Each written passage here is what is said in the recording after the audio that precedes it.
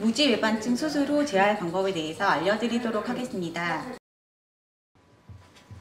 따뜻한 팩으로 다들 감싼 후 10분에서 15분간 따뜻한 찜질로 이완시켜 줍니다.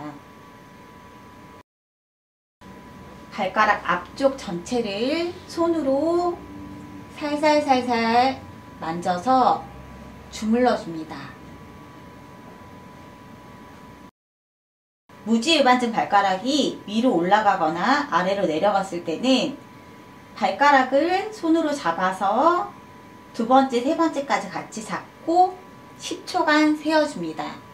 하나, 둘, 셋, 넷, 다섯, 여섯, 일곱, 여덟, 아홉, 열.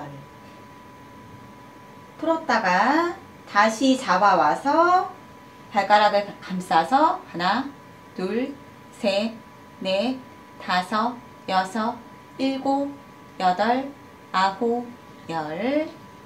다시 쉬었다가 발가락을 갖고 와서 같이 잡고 하나, 둘, 셋, 넷, 다섯, 여섯, 일곱, 여덟, 아홉, 열. 차가운 아이스팩으로 10분에서 15분간 마무리합니다. 운동 후에 너무 통증이 심해지거나 붓기가 많으시면 하루 이틀 쉬고 진행하는 것이 좋습니다. 어느 정도 부었다 빠졌다를 반복되니 너무 걱정하지 말고 진행해 주세요.